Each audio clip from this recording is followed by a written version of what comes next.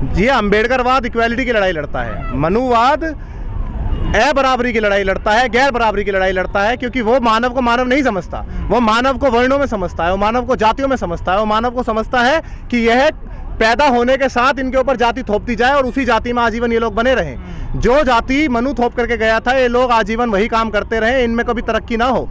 ये मनुवाद सोचता है। तो जो मनुवादी विचारधारा के लोग हैं वो हमेशा ये इनइक्वालिटी समाज के अंदर बनाए रखेंगे क्योंकि उनकी दुकानें इस चीज़ से चलती हैं। और हम अम्बेडकरी समाज के जो लोग हैं हम हमेशा बराबरी के लिए लड़ाई लड़ते रहेंगे गैर बराबरी के अगेंस्ट में लड़ाई लड़ते हैं देखिए वो दलित सांसद नहीं है आप उन्हें दलाल कीजिए कहिए पहली बात। दूसरी बात वो केवल और केवल बाबा साहेब अंबेडकर की वजह से वहाँ पहुँचे हैं नहीं तो उनकी औकात नहीं है कि उन लोगों को कोई अपने अगल बगल में ही बैठा ले जिन पार्टियों से वो लोग चौड़े होते हैं फन्ने खा बनते हैं कि हम लोग इन फलाना पार्टियों से एमएलए बन गए हैं कि फलाना पार्टियों से हम काउंसलर बन गए हैं कि फलाना पार्टियों से हम एमपी बन गए हैं तो उन लोगों को ये लोग देख करके मुँह पीछे गाली देते हैं इनकी जातियों के आधार पर हम्म। अभी माननीय योगी जी ने भगाया ना किसी को हम्म। सुनने में आई है खबर? सांसद को भगाया है ना? वो सांसद खुद कह रहा है, अपने मुँह से गाली देकर के मुझे जातिगत आधार पर मेरे को भगाया गया उनको। तो इन लोगों की यही इज़्ज़त है और ये तमाम जो बीएसपी से भाग भाग करके गए थे ये मेरठ के मेयर मेयर के वो जो है जो भी है वो मैं उनका नाम नहीं जानता और वो इतने खास व्यक्ति भी नहीं है हमारे लिए जो बीएसपी का वो हमारा अदरवाइज़ कोई हमारा नहीं सीधी सी बात। तो मैं उस आदमी का नाम भी नहीं जानता तो आप देख रहे हो किस तरीके बेकदरी हो रही है ऐसे फेंक फेंक रहे हैं पीछे स्टेज पे से पीछे फेंक रहे हैं। माननीय बहन जी ने उन्हें कितना सम्मान दिया कितना सम्मान दिया लेकिन उन्होंने सब सब निराधार कर दिया तो इस तरीके के जो लोग हैं इन लोगों से हमारे समाज को बच के रहना होगा। देखिए राजनीतिगत आरक्षण जो है वो तो खत्म हो जाना चाहिए था अब तक। मुझे तो ये लगता है क्योंकि उससे पैदा तो केवल दलाल हो रहे हैं। और तो कोई पैदा हो नहीं रहा है। क्योंकि समाज के लिए जिस महान समाज ने आप लोगों को वहाँ तक पहुँचाया है, जिन महान पूर्वजों ने आप लोगों को वहाँ तक पहुँचाया, आप उनके लिए काम नहीं करेंगे तो समाज तो आपको गाली देगा ही देगा। आप एमपी बन रहे हैं, आप एमएलए बन रहे हैं, आप काउंसलर बन रहे हैं, आप मंत्री बन रहे हैं, आप समाज में आ नहीं रहे हैं। एट्रोसिटीज होती है समाज के ऊपर, आप आवाज़ नहीं उठा रहे हैं। हमारी एक बेटी है वाल्मीकि समाज की जो बेटी है, हाथरस कांड के अंदर, उस बेटी को दिन दहाड़े रातों रात मतलब जो पुलिस प्रशासन है वो वहाँ पर उसको चला देता पेट्रोल डाल करके बताइए आप। इतिहास में आज तक अभी ऐसा हुआ है? आप आवाज़ नहीं उठा रहे हैं। दो अप्रैल का आपने देखा तेरह तेरह बच्चे समाज के शहीद हो गए इन लोगों को शर्म नहीं आती है बिल्कुल भी। ये लोग वहाँ पर बैठे हैं आराम से बैठने के बाद इन लोगों को ऐसा लगता है कि सब कुछ इनकी तुर्रम खाई की वजह से आया है तो ये इस भूल में ना रहे। ये इस भूल में ना रहे। इन लोगों की एक रुपए की औकात नहीं है एक रुपए की औकात क्या होती? है समाज में तो टुकड़ों में बटा हुआ।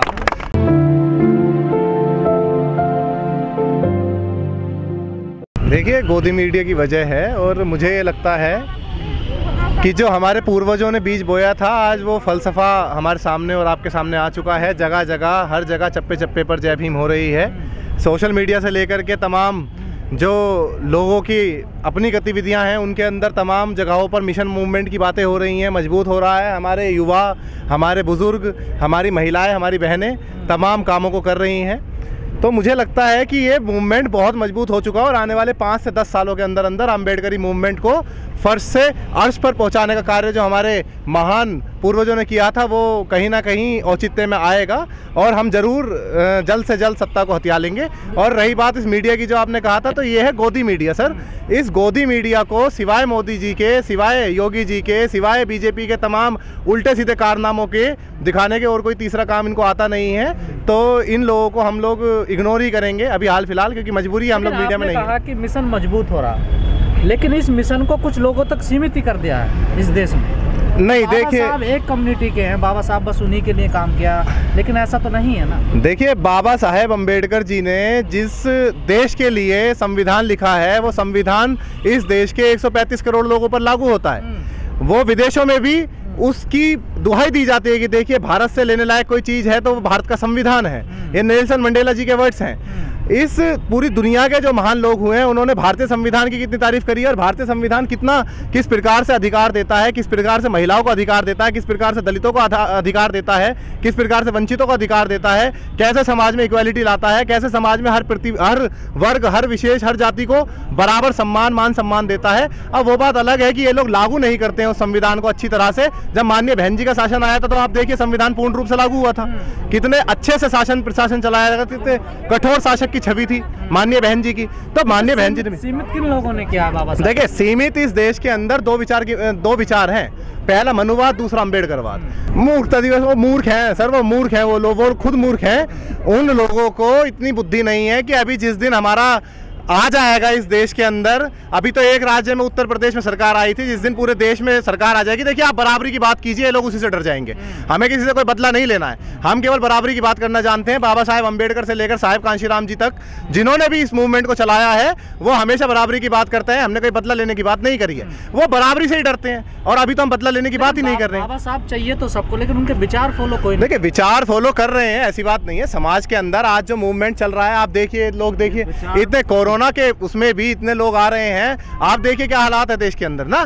पूरे देश में सोशल मीडिया से लेकर के तमाम प्लेटफॉर्म्स पर आज सारा नीला नीला हुआ पड़ा है इतनी खुशी हो रही है देख करके। तो ऐसा नहीं है वो बात ठीक है धीरे धीरे मूवमेंट में बदलाव आएगा अपने युवा आएँगे सब आगे निकल निकल करके आएँगे चीज़ें होंगी। लेकिन समय लगेगा थोड़ा सा अब हम इस मुहिम तक पहुँचा चुके हैं एक सौ बर्थडे तक आज बाबा साहब के जब तक एक सौ बर्थडे आएगा आप देखना कम से कम आपकी दस राज्यों में सरकार होगी। देखिए समाज टुकड़ों में बटा हुआ है। देखिए तमाम जाति तमाम वर्ग मान्यवर साहेब कांशीराम जी ने कहा था ना कि हम एक महान बहुजन समाज की कल्पना कर रहे हैं जिसे हम एक छत के नीचे लाएँगे। और छत के नीचे लाए तमाम जातियाँ तमाम वर्ग, सबने साथ दिया साहब का। चार चार बार हमारी सरकार बनी पिचानवे में, सत्तानवे में 2002 में और 2007 में। तो सब लोग एक साथ आए ना। अब कुछ असमंजस की स्थिति है, जो विपक्षी पार्टियाँ हैं, इन्होंने कुछ ऐसे गलत धारणाएँ समाज के अंदर बहुत ही हैं कि दूसरी जातियाँ, जो तमाम बहुजन समाज की जातियाँ हैं, वो एक दूसरे के साथ नहीं होना चाह रही हैं। लेकिन धीरे धीरे इस उसका टूटने लगा है ये वाला, जो ये अवक्षेप था, ये भी टूटने लगा है समाज का। सब जानने लगे हैं कि भाई हमारे लोग अपने अपने ही होते हैं सीधी सी बात, और हमारा बहुजन समाज है, किसी जाति विशेष का आदमी नहीं है। सर नवरात्र चल रहे हैं। हमारी महिलाएँ मंदिरों में लोटा चढ़ा रही हैं, पूजा कर रही हैं, लेकिन जयंती पे तो कहीं नहीं आ रही देखिए अशिक्षा की कमी है, आप देखिए, ऐसे आप नहीं कह सकते। महिलाएँ हमारी बहुत सारी माताएँ बहनें हैं यहाँ पर, ऐसी बात नहीं है। और दूसरी बात, जो हमारे समाज की माताएँ बहनें हैं, हमें समझाने की ज़रूरत है उनको। बिल्कुल आप भी अपनी जगह सही हैं, हमें समझाने की ज़रूरत है, और हम चाहते हैं, हम समझाएँगे। हमारे तमाम युवा, हमारे तमाम जो कार्यकर्ता हैं, वो इस काम को कर रहे हैं, और बीएसपी कोई पार्टी नहीं है। बीएसपी एक तरह की मूवमेंट ही है। बीएसपी एक तरह की मूवमेंट ही है, जो समाज के अंदर जाकर के अपने मूवमेंट को आगे बढ़ाती है। राष्ट्रीय पार्टी होना कोई मज़ाक बात नहीं है आज की डेट में। भारत के अंदर राष्ट्रीय पार्टी होना मज़ाक बात नहीं है, लोग कहने को कुछ भी कह देते हैं। तो मैं यही चाहता हूँ कि ये समाज जो है बीएसपी की वैल्यू समझे, माननीय बहन मायावती जी की वैल्यू समझे, इस देश के अंदर हमारे वंशजों की वैल्यू समझे, जो आने वाली पीढ़ियाँ हैं, उनके लिए हमें कुछ करके जाना है और हम करेंगे, ज़रूर करेंगे तो अपनी एकता से करेंगे।